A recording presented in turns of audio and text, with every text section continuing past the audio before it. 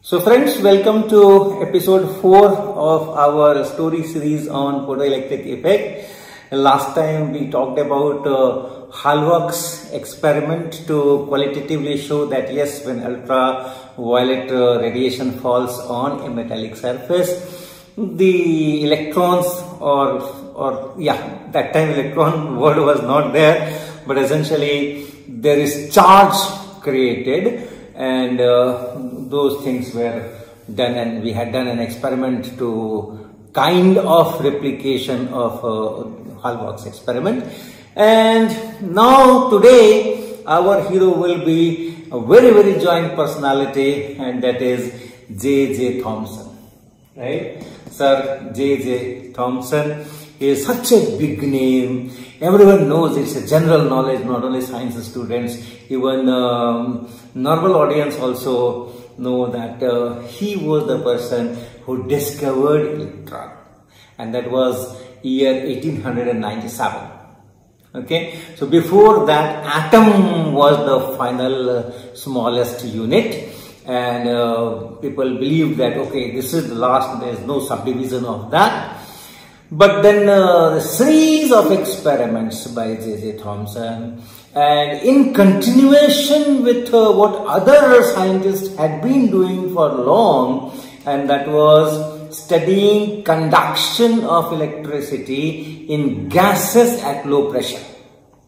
So those, uh, the whole thing culminated finally in 1897 when uh, uh, Thomson declared from his experimental data that all materials, all atoms have uh, tiny, tiny particles in it which have negative charge, which have mass and then he also measured E by M and all those things uh, and established that uh, inside atoms also you have structure. You have negatively charged particles which are very light as compared to the lightest atom that is hydrogen. Okay, so these tiny particles had uh, mass apparently some uh, 1800 times smaller than uh, the smallest, uh, lightest atom. And these uh, particles which he called corpuscles, they were part of all the materials, all the materials. So that was a big discovery.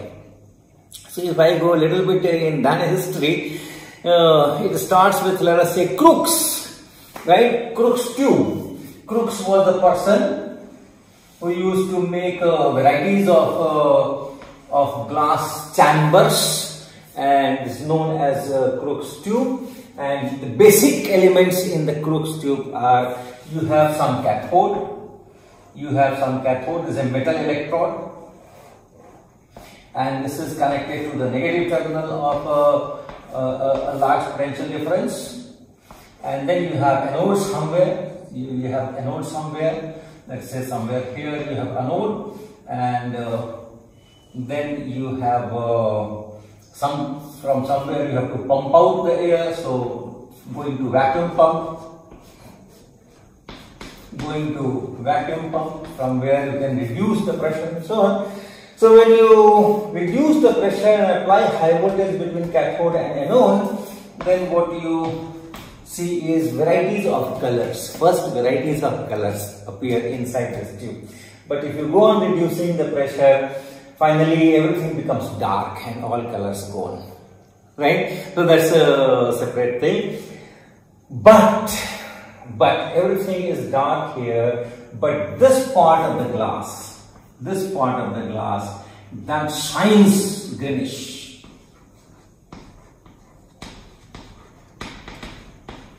this part opposite to this uh, cathode here that uh, shines greenish known as a fluorescence.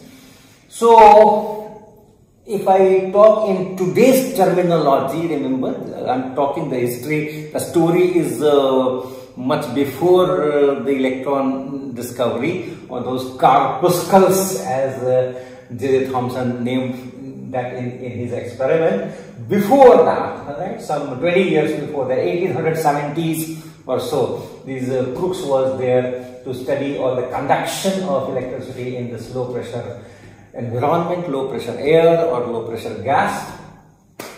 So you have whatever is the residual gas here. So some ionization is there, some electrons are there, some positive ions are there and because of this electric field, those positive ions will go this side and hit this cathode with large velocities because of the large mass and then uh, electrons will be emitted from here. So they are, they are the main component. You do have electrons from the, that gas also little bit, little bit, but uh, main component is electrons are ejected from this and these electrons go and hit this uh, glass surface here and uh, there you have some uh, excitation of uh, this, uh, electrons in this material and from there that greenish greenish color is there.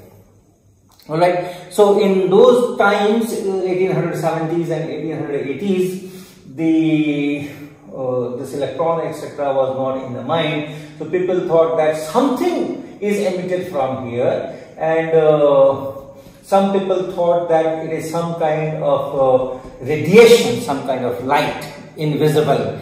Like we, we do not see light, we see using light but we do not see light. Similarly, this is invisible. So something like uh, waves uh, and that time waves in ether like light. So that was one uh, group, one, one thought. Another thought was that no, there are massive particles and there are particles which are emitted and then they are coming here.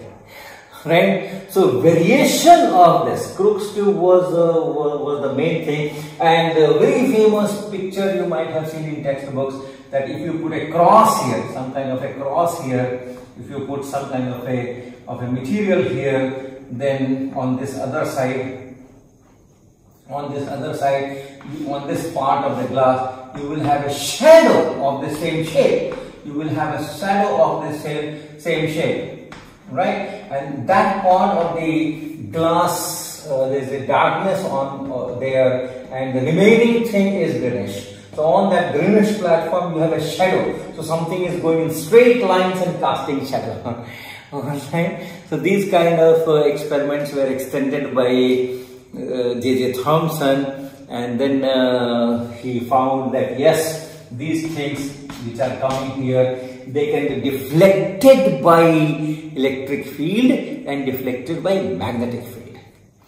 So people were trying to study this before Thomson also, but then uh, magnetic deflection they could see, but electric field deflection was difficult to see. Right? And then uh, uh, this J.J. Thomson found that okay, people failed to see the deflection by electric field because there was enough, enough air here or enough gas here, the pressure was not that low and then that uh, got ionized, that became conducting and that shielded these, like, this uh, cathode ray beams uh, from being deflected and so on so on. So when he reduced the pressure to very low values, he found that it can be deflected by electric field. It can be deflected by magnetic field and then from the calculations he established that it has certain charge and certain mass and from that experiment an E by M could be calculated. And that was a characteristic of, uh, of those corpuscles. So changing the gas, changing the cathode material, uh, these uh, this E by M was all the time same. And from there it was established that okay all atoms do have inside uh, these kind of particles identical particles the whole of the world and all the materials and so on and so forth. And that was later named as electrons so that is J.J. Thomson when uh, Hertz did his experiments on electromagnetic waves and as a side result found that okay ultraviolet uh, radiation when falls on uh, metal then uh, these sparks are easier to do. And therefore the conduction increases. And therefore some negative charges uh, are there. So that photoelectric effect. And then uh, Hallwachs and Hertz himself and certain other scientists also performed that. And J.J. Thomson also did that he also did a separate experiment and then uh, showed that okay if you shine ultraviolet light on, light on this don't apply any voltage. But uh, shine ultraviolet on this uh, cathode and again those cathode rays are emitted with the same E by M ratio right? So that is how he also confirmed photoelectric effect yes uh, by shining UV light on cathode electrons are ejected from there. Okay, so these experiments that I have described by Thomson, these were performed in the year 1899 and that is two years after that uh, so-called discovery of electrons where he showed that uh, cathode rays which were known for a very long time are nothing but streams of particles having certain charge and certain mass. And the ratio of E by M or M by E that he has calculated uh, in his uh, 1897 paper and uh, very carefully designed the experiment. And this Crookes tube is uh, the kind of starting point that I have just mentioned for each piece of uh, that experimental work in 1897 and also 1899 for each piece of that research work, he has designed a new vacuum tube. Okay, corresponding to the requirement of uh, that piece of research. So, excellent uh, uh, design and excellent fabrication and then excellent uh, performing the experiment. So, the first observation of photoelectric effect was made by Hertz in 1887 when he was trying to generate uh, electromagnetic waves in the laboratory. And then uh, Hertz himself made a full-fledged uh, experiment uh, to confirm this using again spark gaps and shining light on that. And in 1888, Hallwachs did the experiments to confirm what Hertz had observed in his 1887 uh, experiment and J.J. Uh, Thomson's experiments that uh, I had described were in 1899, two years after he had established that cathode rays are nothing but electrons which are omnipresent in all materials. Okay. Now, I should mention uh, at least one more scientist, a Russian physicist who had done uh, experiments on photoelectric effect in 1888 itself. So that, that is our another character of the story. M. A. Stole. To. The mm, this name, the, the, last letter here is uh, V that uh, I see everywhere, but in that uh, paper which is published in 1888, this is W. So I go with the majority and write it to V here. Now he was a Russian physicist and he also did a simple experiment on photoelectric effect uh, in 1888 but that was bit more quantitative. Let me first describe his uh, apparatus. He had taken uh, two metal plates and circular discs of uh, radius some 22 centimeter or so and placed them face to face. Now one of the disc was a solid disc and another was not a disc as such but it was a wire mesh. So this is that uh, solid disc, this is that solid disc and then in front of it another uh, disc which is actually conducting wires, these kind of wires, wire mesh like that.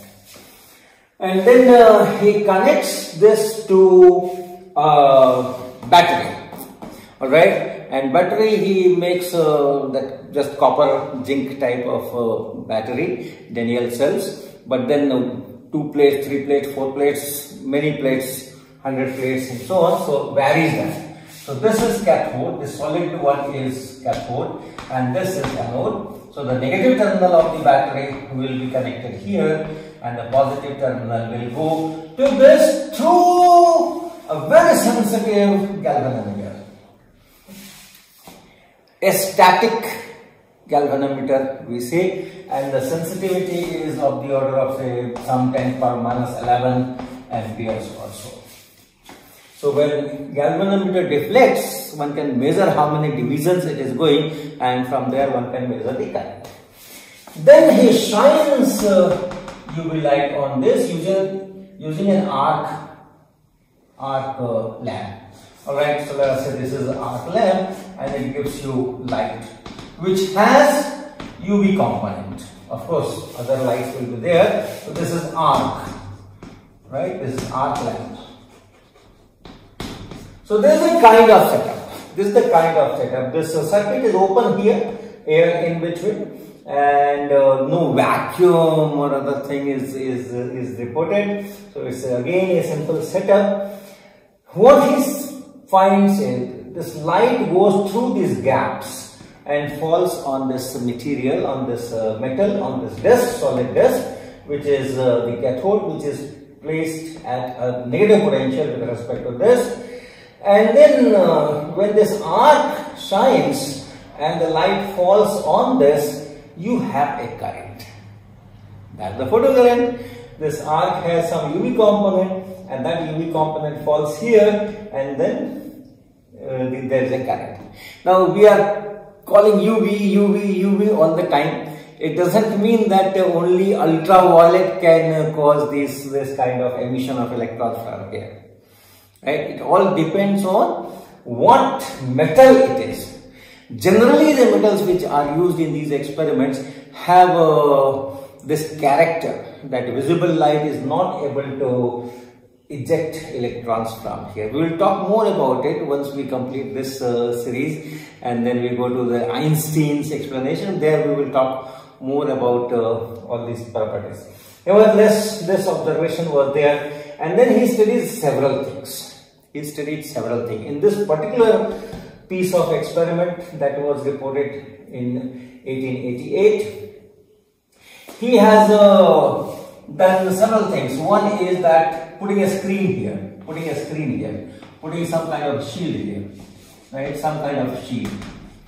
So you find that if it is an opaque sheet, of course, the entire light is blocked, everything is blocked, it's opaque and then there is no current or negligible current but uh, then he puts varieties of glasses varieties of glasses so the light is going but even then uh, the current is very very minimal and then when he puts quartz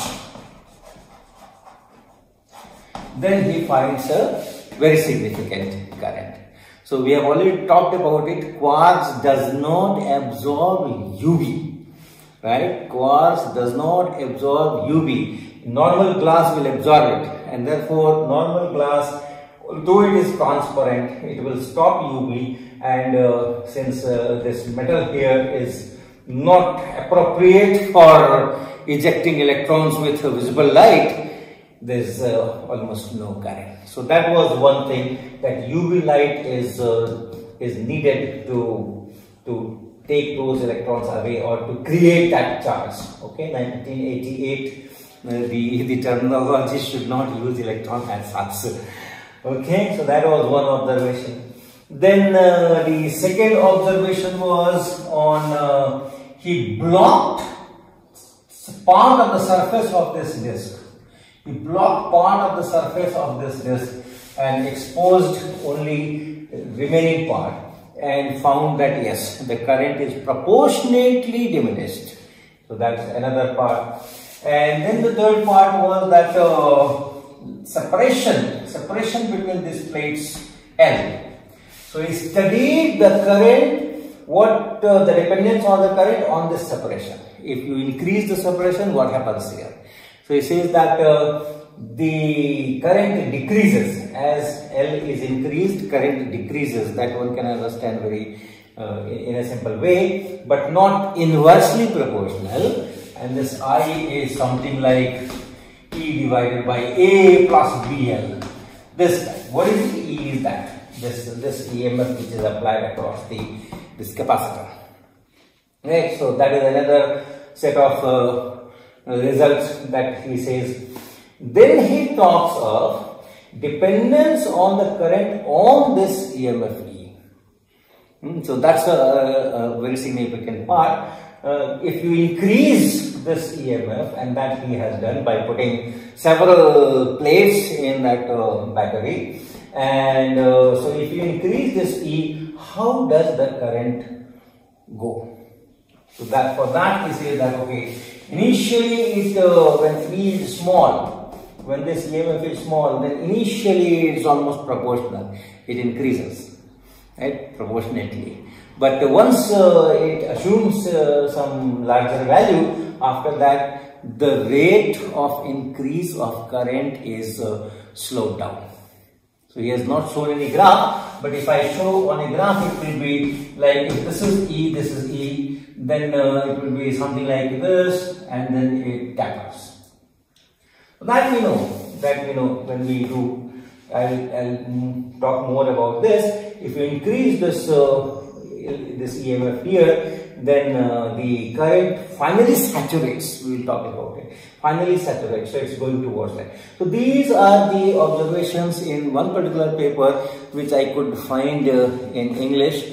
There are three or four or maybe more papers uh, in the same year or a year later on photoelectric effect where he must have uh, measured other things but those are not at least I could not find them in uh, English, could not understand. They are in French uh, and so. But then something called uh, law of photoelectric effect. Okay, and that must have come from those uh, those researches that he has done, and that is this current is proportional to intensity.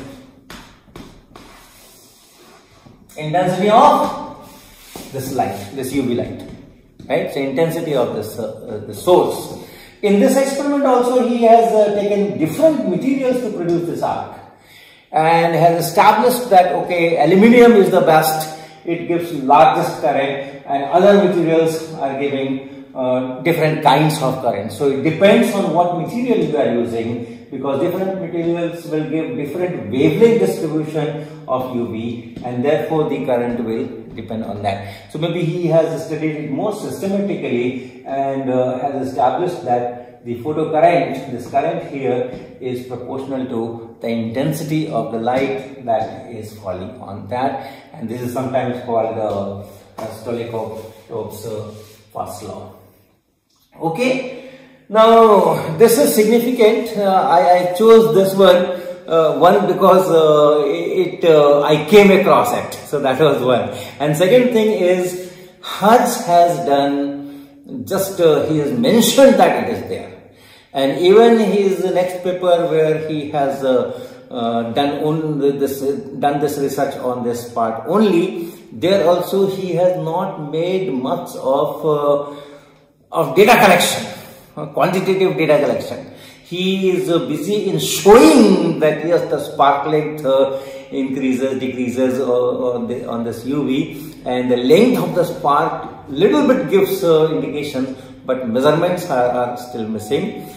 Hallwachs of course uh, no measurements but this one uh, they are all 1988 uh, and even that Thomson paper of 1899 there also the main focus is that these uh, charges which are uh, which are generated when ultraviolet falls on a metal, so those are same as cathode rays.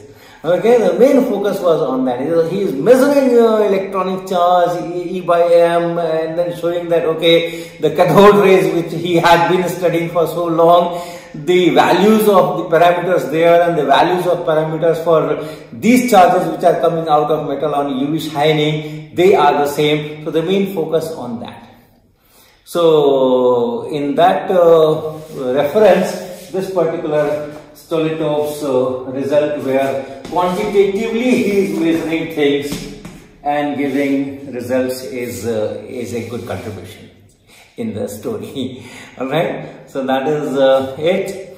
And then uh, maybe next episode we will we will talk of uh, another giant personality 1905 Nobel Prize awardee Philip Lenard. It has uh, given uh, very good quantitative results. And uh, Einstein in his Nobel Prize work has mentioned about this.